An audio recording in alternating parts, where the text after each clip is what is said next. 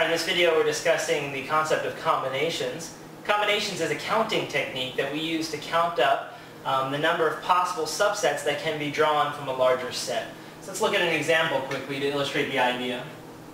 If we have a set of numbers, 1, 2, 3, 4, so just these four integers here, and I want to figure out how many sets of two numbers I can draw from it, um, we can actually figure that out just by listing it, right? We could say, well, we can take the set 1, 2 from there, 1, 3. We can take the numbers 1 and 4.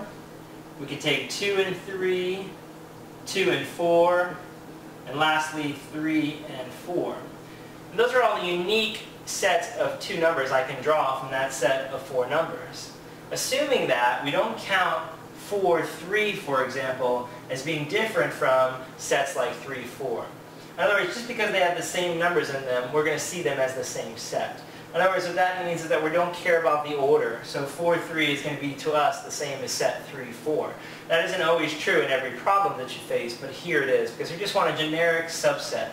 So we don't care if the order is different. All we care is that they have the same elements inside the set. If they do, we'll see 4, 3 as the same as 3, 4, which means we don't have to list all the ways that you could spin these around and reverse them. So that keeps it at a smaller number of possible sets, right? So combinations has that issue going on there. It has the idea that you're drawing subsets from a larger set and that order of the numbers or the items that you take out of the set is unimportant, right? So the order does not matter. So if you meet those criteria, then you have a combination problem. So if you meet all that criteria for any problem, you can say, well, I can use the combinations technique. So let's look at this problem and see if we can use the combination idea behind it. Well, when I look at the problem, it says, how many committees are possible in that last sentence, right? It says a committee of three people is to be chosen from a group of 12 people. How many committees are possible? So the first thing you're looking for in any counting problem is this idea that you're looking for how many of something, right? How many ways, how many things, how many sets are possible, whatever they're saying, right? It always has to have this idea of how many. So we expect to see that. If we don't see that in the problem, then we have to assume that the problem is probably not the counting technique. It has to imply the idea that we want to figure out how many of something is possible. So here it says how many committees are possible. It looks like a counting problem. Now, if I think it might be combinations, I'm looking for there to be a larger set, and then we're going to draw some subset from it. So let's see. It says a committee of three people is to be chosen from a group of 12 people. So we're going to draw this subset of three people from this set of 12 people. And at that point, I think, yes, that meets the idea of a combinations, so long as we don't care about the order of the group that we take out. So let's imagine a scenario. Let's imagine we take out Abigail, Bob, and Carlos to serve on our committee from this group of 12 people, right? Abigail, Bob, and Carlos. Well, let me ask you, would it matter if I said that it was Carlos, Abigail, and Bob serving on the committee? Wouldn't it be still the same committee of three people? I think it would be. And so in that case, I'm going to say that these two committees are the same. And if they are the same, it implies order does not matter, and we can use combinations because we're drawing a subset from a larger set, and order doesn't matter, and they want to know how many committees are possible total. All right, good. By the way, what would it look like if order was important here? Well, maybe they would have positions or titles, right? So maybe the first guy chosen is going to be selected to be the president, the second person is going to be the vice president, and the third person is going to be the secretary. If that would be the case, then of course these orders are different, right? Because here Abigail is president, in this group she's vice president, right? So the order has been switched around. You know, Carlos goes from secretary to president, so it's different, right? So this ordering would be different from this ordering and would have to be counted separately. But we don't have that scenario here. It's just a generic committee. We don't have a scenario where there's a title associated with the positions on the committee. Okay, so in that case, order doesn't matter, and we're going to go ahead and work out the problem using this combination idea. So what's the formula for combinations? Well, let's start with a notation first. The notation for combinations is N choose R. N C R, the C stands for combinations, but people read it as N choose R. So from a set of n things, you want to choose r things, right, to form a subset. And this answers the question how many ways that can be done. And of course, there's other notation. There's n and r put in a parenthesis like this. That also implies the same notation. And finally, sometimes you'll see people use x instead of r, but it doesn't really matter what variables you use as long as it's something choose something else, right? And of course, this number always has to be bigger than this number, or they could possibly be equal where they're the same, right? But you could never have this number be bigger than this number. That's impossible.